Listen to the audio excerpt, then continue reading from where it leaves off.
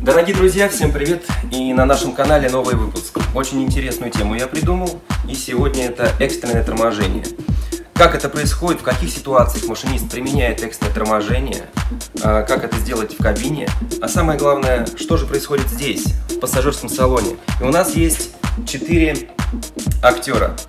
Вот первый пассажир наш, он стоит и держится за поручень. Посмотрим, как а, он отреагирует на экстренное торможение. Второй стоит просто посреди салона и не держится ни за что. Третий сидит, сидит на пассажирском месте, а четвертый облокотился на поручень. Сейчас мы покажем вам и из кабины вид экстренного торможения, и из салона одновременно. И вы увидите, что произойдет. Давайте посмотрим. А, смотрите, дорогие друзья, мы уже в кабине машиниста следуем, следуем по перегону Таганско-Краснопресненской линии. А, небольшое вступление. Машинист применяет экстренное торможение, конечно же, только в экстренных, нестандартных ситуациях, когда есть угроза безопасности движения поездов, безопасности пассажиров. Торможение довольно-таки резкое, поэтому рекомендуется держаться за поручни в, в салоне поезда мы применим экстренное торможение прямо в начале платформы, где поезд только въезжает на станцию. Скорость будет у нас примерно 60 км в час, плюс-минус.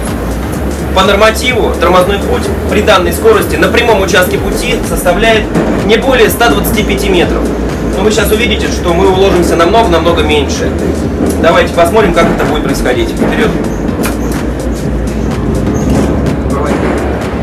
Итак, вот я приближаюсь к станции, сейчас прямо в торце платформы, скорость у нас как раз 58-59. Применяю экстренное торможение. А, на МФДУ сообщение, экстренное торможение, поезд останавливается в экстренном режиме. В экстренном режиме. И посмотрите, сколько мы не доехали до конца платформы. Еще целых пол, пол поезда.